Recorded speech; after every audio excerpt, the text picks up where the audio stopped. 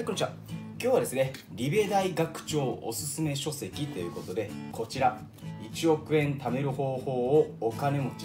1371人に聞きましたっていう書籍を、えー、抜粋して紹介をしていきたいというふうに思いますこの中ですねいろいろこう聞いていっててその質問の項目の中で30個金持ちですね、まあ、億万長者が語る成功要因っていうのは一体何なんですかっていうことを聞いたっていうのがあるんですよ。その30個っていうのが、まあ、1個の動画に収めるってなったらとんでもない時間になりますんで、まあ、全4回シリーズにして、えー、皆さんにご紹介をしていこうかなと思います。で4回シリーズってことは1回に78個くらいの紹介ですかってそんな中途半端なことはせずに30位から今日は21位。で20位から11位10位から1位っていう紹介をした後に、えー、それがそれぞれどういうグルーピングなのになっているのかっていうことが書かれていますのでそれを含めて4回シリーズで、え、皆さんにご紹介をしていきたいというふうに思います。僕もですね父親と一緒に今リベ大学長のですね両学長の動画をこうほぼ毎日見ながらいろいろ勉強させていただいてあの投資を始めたりとか、まあ、副業を始めたりとか、えー、それから格安 SIM の方も格安 SIM の方がちょっと手間取っててもうそろそろ手をつけられるっていうところなんですけどっていうのをいろいろやったりとかまず自分のできることからやっていこうという中でやっぱりじゃあやることも大事だけど何を目指すかとかどういう考え方を持つのかっていうのもやっぱりすごく大事だなっていうことを思ったので、まあ、手っ取り早く億万長者の人がどんなことを考えてるのかなってていうことをこう見ようと思って、えー、この本を買って今読んでるところです。でこれ今お分かりですかね？あのしおりがここピョロンって出てるということは、え、今そこで止まっているというところです。全10章あってこれ400ページくらいあるんですよ。で今第2章の途中読んでてその第2章の中に億万長者に、え、成功要因を聞いた30個っていうのがあったので、え、それを、え、今日はご皆さんにもぜひシェアできたらなというふうに思ってます。ただ僕のチャンネルっていうのは普段いじめにどうやって対抗していくか対策打っていったらいいのかっていうことをメインにお話をしてストレスのこととか自分のステータス上げていくためにどうしたらいいかっていうお話をしていますんでじゃあお金ってどう関係してくるのっていうとやっぱり変な話あのお金がある人っていうのはそれは結果論であってその一歩手前に人間関係がいいとか情報がよく集まるような信頼関係を構築しているからこそえその人にお金が集まっていくっていうものなのでじゃあそのお金を集めていくためにどういう我々は考え方を持っておいた方がいいのかっていうところにこの、えー、今回の成功要因30個っていう中に、えー、ヒントがたくさん詰まってましたので、えー、今日はごそれをご紹介して、まあ、いじめとかストレスっていうところにの対策にも、えー、ぜひ転換していただけたらなというふうに考えてます。ということでまずこの動画見る前に動画というか、えっと、この4回シリーズ特に30位から21位20位から11位10位から1位の、えー、紹介を見る前とか、えー、この動画を見る前とかあるいはこの本に手をつける前に皆さん自身がその30個の億万長者が考える成功要因って一体何なんだろうなっていうことをぜひですね書き留めてみていただきたいんですよね。で僕もやってみたんですよ。そしたら30分のなんとですね22個も当てはまってたんですよ。これどういう意味があるかってなんとなく分かりますかね。つまりどうやったらお金持ちになれるのかとかお金持ちの人がどういうことを考えているのかっていうのはこう僕全然苦労してないんですよ。30まあ確かに20個目以降書くのは結構絞り出した感あるんですけど11個目から19個目くらいを書くのっていうのはそんな何ら苦労してないんですね。ということはお金持ちになるための条件とか考え方とか行動力とかっていうのは一体何をしたらいいのかなっていうのは多分皆さん漠然と持ってるんですよ。あとはその行動力を実際に表現できるかどうかっていうとこなんだろうなっていうことを思ってめちゃめちゃ反省しました。この本を読みながらですねあのかつ仕事の方の詰めもあってですねなんかわかんないですけどここの両サイドにですねニキビができちゃったっていうですね。すごいですこことここのくぼみにちょうどニキビができたっていうね謎の現象が今日さっきお風呂入ろうと思ったらあってですね。まあそんなことはどうでもいいです。さっさとランキング紹介しろっていう話なんで移っていきたいと思います。で今日は30から、え21、えー、中には同率のものもあったりしますんで、えーと、ランキングをこうポップアップ式で、えー、紹介していきたいと思います。ということでまずランキング入るんですけどランキングただ紹介するだけじゃ面白くないので僕なりにこれはどういう理由でこう選ばれてるのかなっていうプチ考察も入ってます。本当にプチなんです。ちょっとずつまああの1つ1分ずつくらいで紹介をしていこうかなというふうに思ってます。皆さんはそれぞれ紹介した中でいや私だったらこういう視点だなとかあのいやお前の考えてることはこういう見方別の見え方もできるんじゃないかっていうもし意見とかあったらコメント残していただけると非常にありがたいです。皆さんで一緒に勉強できたらと思っています。ということで、えー、まず第30位なんですが多いので、えーと、カンニングペーパー用意してます。はい。でまず30位が、えー、クラスを首席かそれに近い成績で卒業している。はい、でこれはですね、まあ、知識知恵があるからとも言えるしもしくはその勉強してきた自信があるからまあ、他のことよりも何て言うんでしょうね。例えば両学長だったらお金を稼ぐ方法とかっていうのにこう時間を割いてきたっていうことをおっしゃってますけど勉強に対して時間を割いてきたっていう友達と遊ぶとか運動するとか趣味に当てるとかっていう時間全てを勉強に当ててきたからこそ俺は私はここで勝負していけるっていう自信があるんですよね。つまりいろんなことを排除してきて勉強するというリスクをあえて取ってきたという経験があるからそれをお金に考え方を転換することによってまあ、稼ぐ方法とかが身についたりとか実践ができたりっていう風になるんじゃないかなというふうに思います。つまり集中する方向性を変えただけっていう感じなのかなという気がします。はい。続いて29位、えー、優秀な投資顧問がいる。これはですねなかなか僕もサラリーマンだったりしますけど、まあ、お金を手に入れた先の話になるのかなと思いますね。だからまずは自分がその優秀な投資家を雇うというよりも自分自身が優秀な投資顧問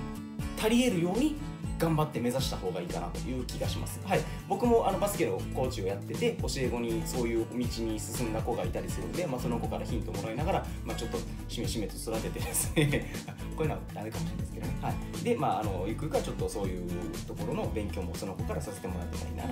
思ったりします、はい、で続いて同率で27位が、えー、上場企業の株式に投資する。これ両学長常々やっぱり投資すべきっていうふうに言ってますよね。過去を見ても長期的に見れば株っていうのは右肩上がりで伸びていってますしただ一点集中この会社だけに、えー、株式を投資するっていうのはまあリスクがありますから、えー、分散していろんなところに投資をしていくといいですよってことが書かれる。つまり10個投資して1個がダメでも残りの9個で成功すれば OK っていう、まあ、そんな感じですお金を稼ぐっていうこともすごく大事なんですけどあの僕も株を買ってこれを非常に面白いなと思ったのがやっぱり優待ですよね。株主優待で、まあ、とあるところを買ったら映画館が安く入れるとかあの年にその5000円とか1万円とかの券がもらえたりとかって今なんか5000円とか1万円って、まあ、確かに額としてそんなに大きくないですけど来たら来たであなんかお得だなと。でこれ5000円で何買おうかなってやっぱワクワク感とかちょっとしたその幸福度を上げてくれたりとかっていうのがあるので優待を目的に買うっていうのも一つ手はあるかもしれないです。当然そのトータルの損をしたら意味がないですけど、まあ、伸び率はそんなに大したことはないけどこれを持っておくとその優待によって長期的にお得だなっていうものがあればそれを買うっていうのも一つありかというふうには個人的に思います。で同率27位のもう一つが幸運に恵まれているということですね。はい、まあ、何かいいことが起きたっていうことよりもそのあらゆること皆さんの身の回りで起こるあらゆることをどう受け取っているかっていうことを億万長者の皆さん言いたいんじゃないかなっていうふうに思いました、はい、でいろんな要素とか考え方があるんですけどやっぱり幸運になれない人の特徴コーチングとかをやってて非常に思うのは人を攻撃したりとか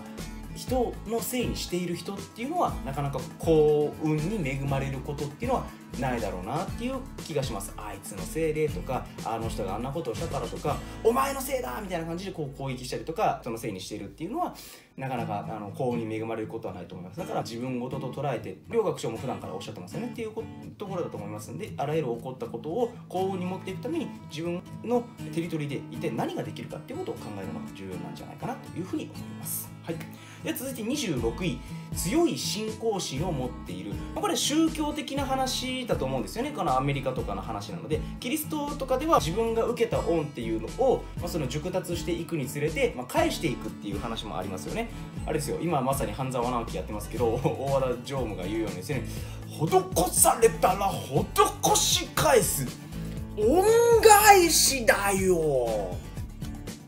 っていうどうでもいいです。ただ宗教は、まあ、我々日本人でこのなんとか教とか何何々宗派とかっていうのをこう信仰するっていう考えは、まあ、なかなか持ちにくいところではあると思うんですけど、ま、何か自分の行動とか考えにおいて元になるもの軸になるものっていうものは持っておくと大事ですよね。誰の考えを参考にするのかとかあるいは何か選択肢が2つあった時の、えー、2つ選択肢があった時の選び方とかですよね、はい、直感で選ぶのかしっかりと考えてから選ぶのかっていうようなことですね。お金に関しての考え方の軸を持つんだったら両学長に学ぶとか、ね、あるいは、まあ、何かしらの選択肢を持つってだったら直感で選ぶとか。そういう、まあ、考え方の元とか軸っていうのを持っておくのが非常にいいんじゃないかなというふうに思います。はいで続いて、えこれまた同率で24位が2つあります。24位は1つは自分の収入の範囲で生活する、まあ、これお金の勉強してる人からしたら当たり前かもしれないんですけどなかなかやっぱそうでない世界とかもあったりするんですよね。これを手っ取り早く学ぶんだったらあの闇金牛島くんっていう漫画とかドラマを見るのがいいです。あの去年のアラジンの実写映画で、えーと、アラジン役をやった中村俊也さんが闇金牛島君のドラマの方で超悪い結婚詐欺師の役やっててねすげえギャップがあるなってそんな話は置いといて、はい、で、まあ、闇金牛島君っていうのがやっぱそういう例であったりとかしてで、まあ、いつか次のレベルに上げていくためのステップとしてちょっと支出を増やして年収が100万増えた世界とか200万増えた世界っていうのを自分が見越していくっていうのはありかと思うんですけどやっぱりタイミングとかやり方を誤ると借金をしてしまったりとか苦しみに遭ってしまいますのでやっぱり自分が今ある生活の収入源の中でどうやって幸福な生き方ができるようになっていくのかっていうことを見つけて生活していくのがいいのではないかなというふうには思います。続いて同率24位は誹謗中傷には耳を貸さない。いうことですね、まあ、批判する人は無視しましょうということです、はい、で27位の幸運とかでも話したんですけどやっぱり人を攻撃している人っていうのは不幸に恵まれやすいです。幸に恵まれることっていうのはないです。でそんな人と絡むだけ無駄なんですよね。お前なんちゅうらかんちゃらとかって言ってくるような人たちと絡んでるのって非常にまあ無駄なんですよね。でさらにそういう人たち要はあなた方が何か行動を起こした時に攻撃をしてくるいわゆる固定的なアンチっていうのは本当にごく一部なんですよ。100人いたら1人もいないんですよね。メンタリストの DAIGO さんが紹介しているアンチのいるセンテージっていうのは実は0.47%なんですよ。1%もいないと。1000人いたらようやく、えー、まあ4人とかいるレベル4人5人がいるレベルみたいな感じなんですよね。はい。4人5人？そうですね。4人5人がいるようなレベルなんですよね。そんなわずかな人の意見に振り回されるよりも80%はあなたに関心がない人ですけど2割はあなたに関心がある人、まあ、よく282の法則なんてあったりしますよね。その2割のあなたを応援してくれる人たちの耳を貸してどうやってブラッシュアップしていくかということを考えた方が間違いなくいいと。でかつストックさん株式会社のあの株本裕樹さんなんかもあの一時期そのアンチっていう人たちがいてどういう人存在なのかっていうことを実態を見に行ったらしいんですね。ツイッターとかでなんかこうごちゃごちゃごちゃごちゃ言ってくる人たちがいると。そしたらツイッターでフォロー15人。フォロワー2人とかなんかそういう世界だったらしいんですよ。たった2人しかその人そのそも2人っていうのはなんていうんですかね、えっと、お金稼ぎのためにただフォローされているだけなのか本当の支持者なのかっていうの分からないレベルですからあのそういう人たちその支持があるかどうかも分からないような人たちの意見に振り回されたところで気温をだけで無駄ですよということをまあ言っててそこからなんかアンチがむしろかわいそうで可愛く思えてきたよしよししてあげたくなったみたいなことを言ってたりしてたんで、まあ、そういう存在ですから誹謗中傷っていうのは一切耳貸す必要なんかっていうのはないかなというふうに思います。影響力のある人たちに、えー、構っている暇なんかないですからね。はい。ということで続いて23位ということで、えー、一流大学に行くです。でこれは学力を上げて知識レベ知識レベルを上げていくというよりもそこで出会う志な高い仲間に恵まれていくということのが大事なんじゃないかなということだと個人的には思います、まあ、話の中身のレベルも当然高いですし目指すレベルも高いので、まあ、そういう人たちに恵まれていくと自分が欲しい情報特にその専門分野でこういうのが欲しいなってなった時にあそれだったらこういうのを勉強するというとかあそれを俺が教えてあげるみたいな仲間がこうポンポンポンポンって出てくると非常にいい環境ですよね。はい続いて22専門分野を持っているとこれですね大企業の採用関係に携わっている人にあの聞いたことがあるんですけど最近は、ね、そのマルチでいろんなことができるとかすごい経験をしてきているとか可能性を感じる子よりもオタク気質の子を取るようにしているっていう話を聞いたことがあります。え、ね、ななんでオタク気質の人取るんですか？みたいな話なんですけど、これはですね、一つのことを突き詰める能力が高いかららしいんですよね。はい、で、他はダメでも、一つのことで勝てる要素があれば、その人にその適材適所で当てはめていって、えそこの能力を伸ばして会社に貢献してくれればそれで OK と。だから、東進ハイスクールの林先生なんかも勝てる場所で勝負をしましょうと林先生数学が一番好きというか得意なんですけどやっぱり数学を大学でバリバリ勉強したような塾講師の人たちなんかにはかないっこないから自分は国語の世界で生きていくってなってああやってこういろんな冠番組を持ったりとか予備高校師であんなことってまずありえないですからいう世界に飛び込むだけの成功を収めることができたっていう、まあ、実例があったりもします。はいそれから、えー、今日の最後ですね21位 IQ が高いもしくは優秀な頭脳を持っている、まあ、IQ が高いから優秀な頭脳を持っているという見え方もできるんですけどね。でこれはメンタリストの先ほども話したメンタリストの DAIGO さんが賢い人ほど幸福度っていうのは高くなりやすいですよと。で幸せそうな人にはやっぱりついていきたいっていうふうに周りも思いますしそういう人たちに対して情報を集めたりとかお金も集まったりとかいうようなことが起こりますんでやっぱり IQ が高い優秀な頭脳を持っている人たちっていうのは、えー、億万長者長者になるための、えー条件の一つではないかなというふうに個人的には思います。ということで、えー、早いもので30位から21位までを、えー、今日はご紹介をしてきました。ということで、えー、明日以降ですねまた20位から11位そして10位から1位っていうのを最後にグルーピングっていうのをして、え、紹介をしていきたいというふうに思います。でそのグルーピングがなぜ大事なのかっていうのもその4つ目の動画の方でお話をしようというふうに思っていますんでぜひですね、まあ、この4回パート4回パートシーですねあのぜひパート4シリーズ4回シリーズって言った場合かな？4回シリーズぜひご覧いただけたらなというふうに思います。ということで本日の動画以上となります。お疲れ様でした。さよなら。バイバイ。